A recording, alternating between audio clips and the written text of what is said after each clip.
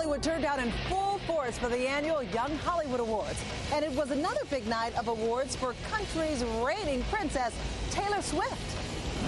I'm so excited. This is like so cool. Fresh faces rule the red carpet at Hollywood Life magazine's 10th annual Young Hollywood Awards. Host Aisha Tyler had some advice. Wear underpants.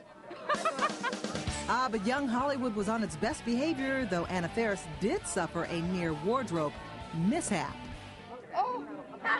and this more PG crowd was candid. Adorable Abigail Breslin even shared her weekly pay. Okay, her allowance. Well, now it's 12 because I just turned 12. so it goes up by the year. I'm very nervous. Inside, Abigail took home the hottest, coolest young veteran award. America Ferrera presented a trophy, and Taylor Swift was dubbed Superstar of Tomorrow.